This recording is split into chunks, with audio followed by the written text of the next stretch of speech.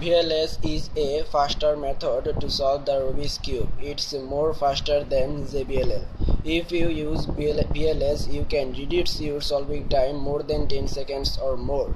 In CFOP method, you need to solve the Rubik's Cube doing first two then OLL, then PLL. But in VLS, you can solve the Rubik's Cube only one algorithm by using the one slot and OLL, PLL and at one time using only one algorithm.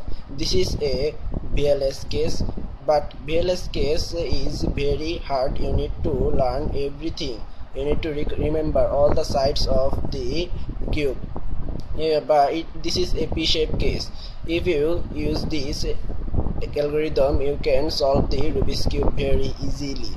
You cannot do OLL or PLL now I will show you a case. You need to remember this side all the sides and shape the I, now I will show the algorithm. The algorithm is M U R U prime small r prime. The Rubik's cube is solved. I will show you it again. M U R U prime small r prime. It is very easy but you need to recognize all the sides of the Rubik's cube